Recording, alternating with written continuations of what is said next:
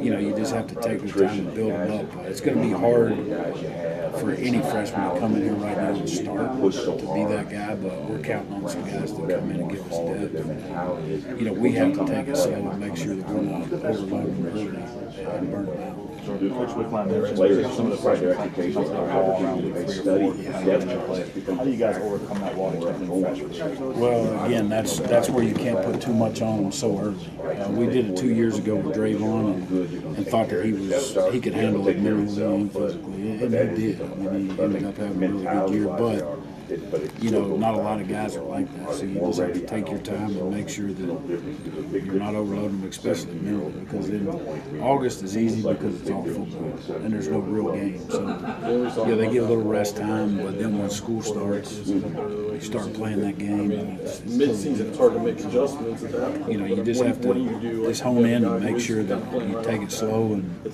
and you know, you want to them peaking in October instead of hitting. You do have some freshmen who come in early for the and obviously Reese Donahue, an in-state guy, one of those. What's your take on him, how much of an advantage did that give him? No, it's, it's a ton of. I mean, for him, you know, he's a, he's like a sophomore.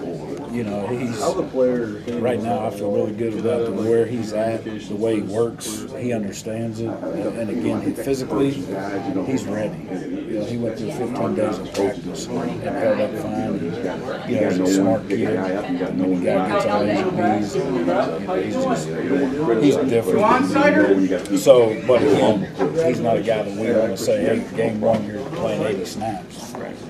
Ease him into it, but we're definitely counting on him. Let's talk a little bit about the, the conditioning within the offseason for the guys. I mean, they're all tweeting about the hill today, running that. Um, the importance of, of doing something like that for, for a group like this to, together. Well, the one thing it does is, you know, when you see your teammates going through the same thing that you're going through, and you know it's hard. It, it pulls them all together. Number one. Number two, I mean, our strength staff, you know, they're around them right now. This is the most important time for them, and you know, it's it's crucial, and they spend more time with Coach Joseph than really they do with us. And those guys do a great job of getting them ready to go from a physical standpoint. But you know, again, you're here all summer long. You know, you don't have many distractions at this point.